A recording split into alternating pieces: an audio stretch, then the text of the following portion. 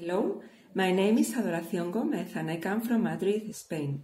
I'm glad to be selected as one of the top 50 in mm, Portraits 2019 contest. This photo was taken during a photographic trip to La Habana, Cuba. I was walking in the street when I saw a man selling some drawings. I closed to him and we were talking for a while. At the end of the conversation, I asked him to take a photo. So I set my camera Nikon D750 to a wide open diaphragm and I shot. If you like the portrait, please click the star. Thank you. Bye bye.